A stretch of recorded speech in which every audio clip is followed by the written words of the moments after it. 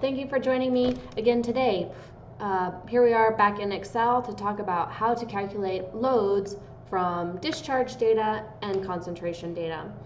Um, starting on the screen here, you know, there's a lot of ways to calculate loads and losses. There are software programs to help you do it, online calculators to help you do it, and even if you choose one specific method or way to do it, there's lots of ways to do that given method specifically in Excel. So I'm just going to show you one method that we like to use in our lab and you can decide what method is going to work best for you. Looking at the screen, we have two data sets.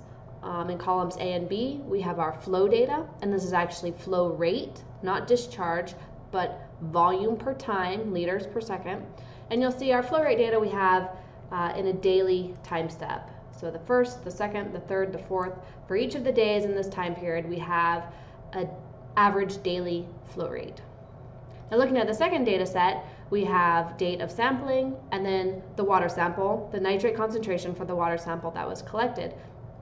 And these happen to be water samples of water flowing into a bioreactor.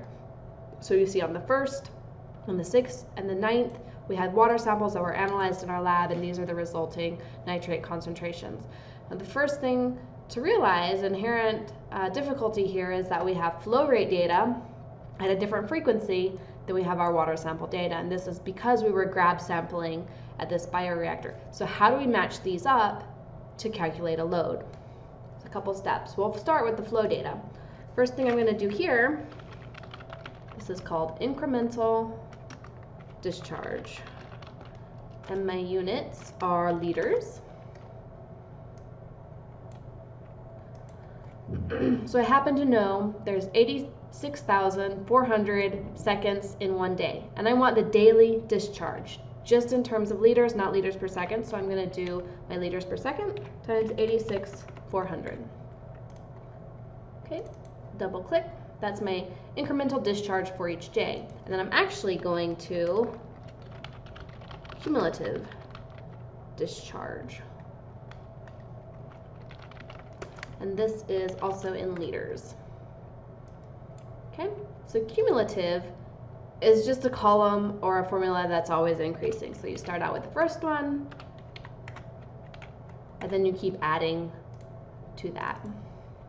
Double click, that continues on down. You know, one way that I like to double check that my cumulative equation is right, it's a pretty simple equation, but there's an easy way to check. I love using my conditional formatting if I didn't have something right in this equation, my color scale wouldn't be quite so smooth. There would be a red cell that popped out or a green cell that popped out out of place. So using conditional formatting, I can double check that my cumulative calculation was correct. So I'm going to undo that. I know that's right. Okay, now we have the cumulative discharge that was leaving that tile pipe during this period. Now we're going to move over to the second data set, which is our nitrate concentrations. The first thing I need to do is look up for each of these dates the cumulative flow that had happened by that time. So here I'm going to do look up flow. So I'm going to put these two data sets together with this column. I used to use a formula called VLOOKUP, which actually can lead to certain errors. And so now I use a nested formula of index and match. So equals index. The syntax for index is that it returns a value based on a defined array. So index, I want my array, which basically means the column that I'm trying to look up the number in.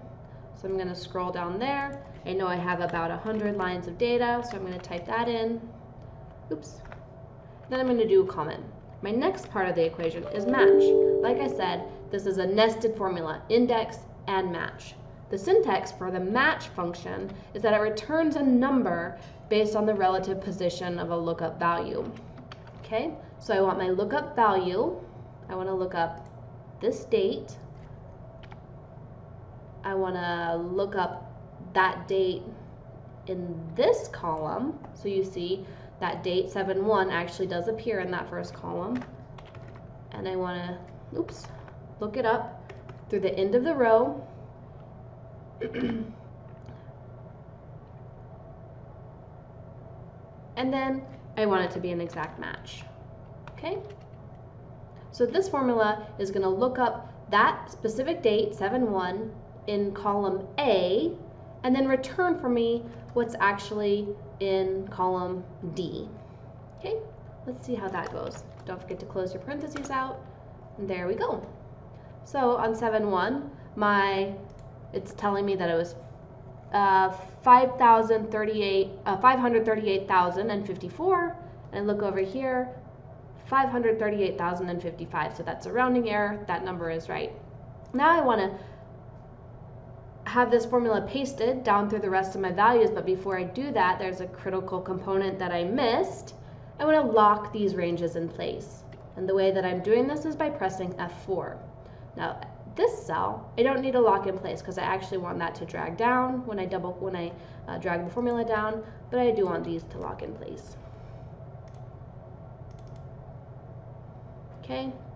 Um, I'm going to reduce my decimals here because that gives a false sense of precision. That's important in quality control when you're doing this. And this is actually cumulative discharge. What I'm really going for here is the incremental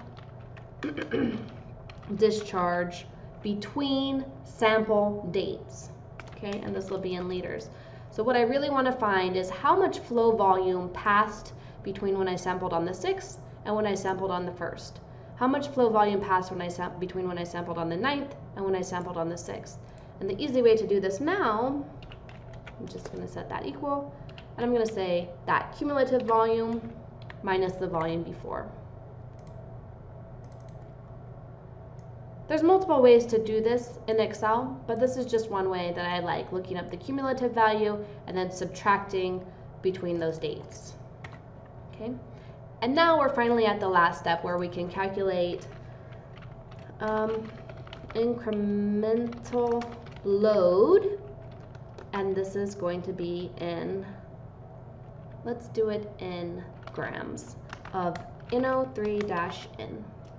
Okay, so all I have to do now is I have my units over here of milligrams in per liter, multiply that by my incremental discharge, which is in liters, and then I said I wanted this in grams, so I'm going to divide by 1,000.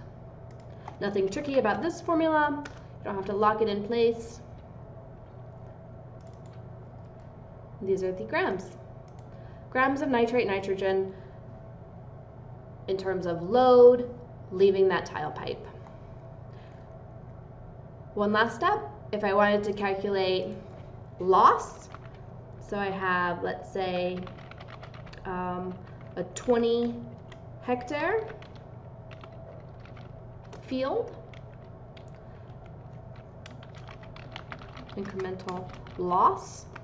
So we're going to go kilograms per hectare, um, kilo kilograms NO3-N per hectare. So we're going to do my grams, incremental grams, divided by 1,000. Let's go ahead and put this in parentheses so that part's clear to us. I want to divide by my 20, 20 hectares.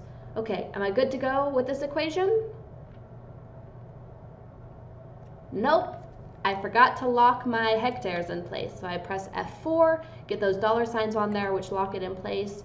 Here's my incremental loss in kilograms of nitrate nitrogen per hectare.